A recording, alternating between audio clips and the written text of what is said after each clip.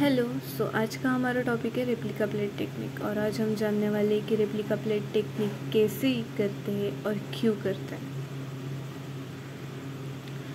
So simply replica plate technique ये ऐसी technique है जिसमें हम एक प्लेट की रेप्लिका बनाते हैं मतलब उसके जैसे ही दिखने वाली सेम टू सेम प्लेट बनाते हैं। तो ये हम कैसे बना सकते हैं?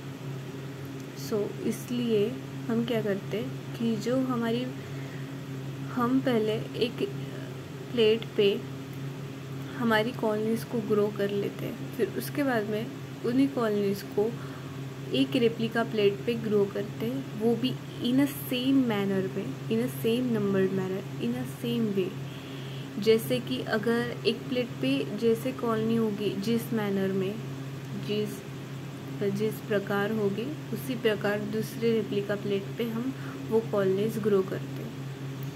सो so, ऐसा ग्रो करने के लिए हम कौन सी टेक्निक यूज़ करते हैं? सो so, हम रेप्लिका प्लेट टेक्निक यूज़ करते हैं। और जिसके वजह से हम हमें अगर किसी कॉलोनी को टेस्ट करना हो अलग अलग प्रकार से सो हमें उस इस टेक्निक की वजह से हेल्प होती है।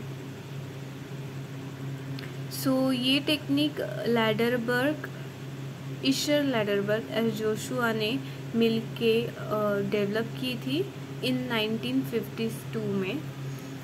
सो so, इसके बाद में हम रेप्लिका प्लेट टेक्निक क्यों यूज़ करते? तो हम रेप्लिका प्लेट टेक्निक आइसोलेट करने के लिए और डिटेक्ट करने के लिए म्यूटेंट्स को आइसोलेट या डिटेक्ट करने के लिए हम रेप्लिका प्लेट टेक्निक यूज़ करते हैं। यूजुअली हम एंटीबायोटिक रेजिस्टेंस और ऑक्सोटॉपिक म्यूटेंट्स को डिटेक्ट करने के लिए यूज़ करते हैं। तो अब एंटीबायोटिक रेजिस्टेंट म्यूटेंट्स क्या है? तो जो एंटीबायोटिक रेजिस्टेंट म्यूटेंट होते हैं, वो किसी एंटीबायोटिक के वजह से उनकी ग्रोथ स्टॉप नहीं होती है। वो इन प्रेजेंस ऑफ़ एंटीबायोटिक भी वो ग्रो करते हैं।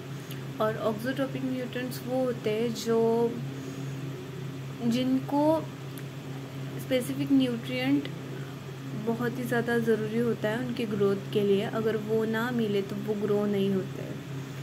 सो so, अगर फॉर एग्ज़ाम्पल अभी हम ले अगर कोई बैक्टीरिया है जिसको ग्रोथ के लिए लैक्टोज लगेगा ही और हमने अगर उसे लैक्टोज प्रोवाइड नहीं किया तो वो ग्रो नहीं होगा। और यूजुअली वो न्यूट्रिएंट्स वो खुद बना सकता है पर नहीं।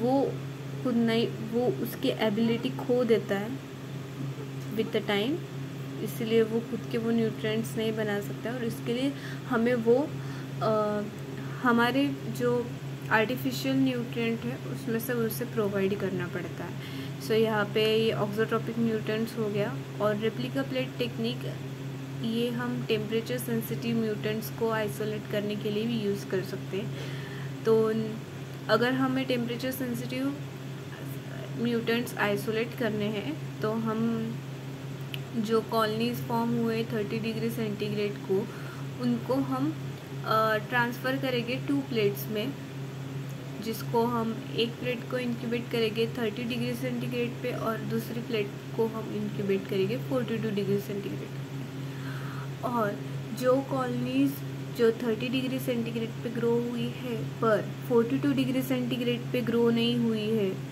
वो उन्हें हम कह सकते हैं कि वो टेम्परेचर सेंसिटिव कॉलोनीज थी। इसके लिए वो दूसरे प्लेट पे ग्रो नहीं हुई। सो so, अभी प्रिंसिपल क्या है रेप्लिका प्लेट टेक्निक का? सो so, आप यहाँ पे देख सकते हो कि रेप्लिकाज वेर ग्रोन मतलब जब रेप्लिका ग्रो हो जाते हैं तो उनको कंपेयर किया जाता है मास्टर प्लेट के लोकेशन से। जो मास्टर प्लेट की कॉलोनीज है उनको जो रेप्लिका प्लेट है, उन दोनों को कंपेयर किया जाता है और जो रेजिस्टेंट कॉलोनीज ग्रो होती है सेम पोजीशन पे रेप्लिका प्लेट पे, उनको मार्क किया जाता है मास्टर प्लेट पे। फिर वो जो कॉलोनी वाला एरिया है, उसे कट किया जाता है और वो बैक्टीरिया को लिक्विड मीडियम में सस्पेंड किया जाता है रिसस्पेंड किया जाता है और फिर उस उस पर फिर फर्दर स्टडीज़ किया जा सकता है इसलिए। सो so, अभी रेप्लिका प्लेट के लिए रिक्वायरमेंट्स क्या है? अगर मुझे रेप्लिका प्लेट टेक्निक अभी करनी है तो फिर मैं क्या करूँगी? मुझे क्या रिक्वायरमेंट्स लगेगी? तो मुझे लगेगा न्यूट्रिएंट अगर प्लेट लगेगी बैक्टीरियल कल्चर लगेगा sensitive to antibiotic necessary glasswares लगेंगे। और sterile nutrient agar plate with antibiotic लगेगी स्टरल वेलवेट क्लॉथ लगेगा। सो कैसे परफॉर्म करेंगे? तो पहले हम बैक्टीरियल कल्चर को डाइल्यूट करेंगे और सेल्स को स्प्रेड करेंगे न्यूट्रिएंट अगार प्लेट पे, जिसको हम मास्टर प्लेट भी कह सकते हैं। फिर उसे इंक्यूबेट करेंगे 37 डिग्री सेंटीग्रेड पे 24 घंटों के लिए।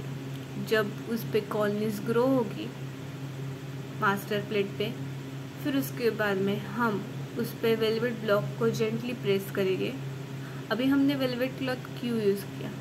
क्योंकि वेलवेट का आपने फाइबर देखा होगा, उसके ऊपर ऐसे उसमें एक नीडल्स जैसे होते हैं ना वो, बहुत सारे। तो वो एक फाइन इनोकुलेटिंग नीडल के जैसे काम करता है और हर कॉलोनी में से एक एक हाथ, दो सेल उस वेलवेट के कपड़े पे चिपक जाती है। फिर उसके बाद में उसको हम मास्टर प्लेट पे से रेप्लिका प्लेट पे ट्रांसफ़र करते हैं। यहाँ पे इस डायग्राम में भी दिखा है कि मास्टर प्लेट पे से हम चला गया, अरे। मास्टर प्लेट पे से हम वेलवेट ब्लॉक पे लेते हैं, फिर वेलवेट ब्लॉक पे उस पर इम्प्रिंट्स आ जाते हैं। फिर रेप्लिका को वो फ्रेश मीडिया पे प्रेस करते हैं फिर से। फिर हम देख सकते हैं कि यहाँ पे जो सेंसिटिव कॉलोनीज थी, वो ग्रो नहीं हुई और जो म्यूटेंट्स जो म्यूटेंट्स थे वो ग्रो हो गए। तो यही इसमें आगे लिखा है। ये उधर हमने एम्पीसिलिन लिया था यहाँ पे, देखो। यहाँ पे हमने एम्पीसिलिन लिया था, ampicillin containing nutrient agar plate और यहाँ पे वही सेम डायग्राम है। बट इसमें क्या है कि इसमें हमने पेनिसिलिन लिया है। और फिर उसको इंक्यूबेट करने के बाद में एक ही रेजिस्टेंट कॉलोनी आई है यहाँ पे, दिख रही है? तो वही कॉलोनी इधर से हमने उठाई, ये वाली। और ये ये जो रेजिस्टेंट कॉलोनी, इसको हमने सस्पेंड किया इसमें। और फिर उसके बाद में उस पर बाद में फिर जो टेस्ट वेस्ट करना होगा, वो करेंगे। तो यहाँ पे आप देख सकते हैं, ये मास्टर प्लेट है। स्टरिलाइज वेलवेटिन क्लॉथ और वुडन होल्डर का फ़ोटो दिखाया। है और किस टाइप के हम ब्लॉक्स यूज़ कर सकते हैं? रेप्लिका प्लेट टेक्निक परफॉर्म करने के लिए उसके भी इधर फ़ोटोज़ दिखाए हुए हैं। सो अभी इसका एप्लीकेशन क्या क्या है? तो सेम टू सेम कॉलोनीज उसी पैटर्न में ग्रो करने के लिए हम रेप्लिका प्लेट टेक्निक यूज़ करते हैं ऑब्वियसली जो ऑक्सोटॉपिक म्यूटेंट्स है, उनको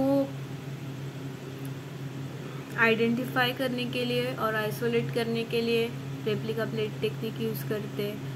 और जो एंटीबायोटिक रेजिस्टेंट म्यूटेंट्स हैं, उनको आइसोलेट करने के लिए यूज़ किया जाता है। फिर अलग अलग कॉलोनीज, उनकी न्यूट्रिशनल रिक्वायरमेंट्स जानने के लिए भी रेप्लिका प्लेट टेक्निक को यूज़ किया जाता है और स्क्रीनिंग करने के लिए और म्यूटेंट्स को सिलेक्ट करने के लिए ये टेक्निक यूज़ की जाती है। Thank you.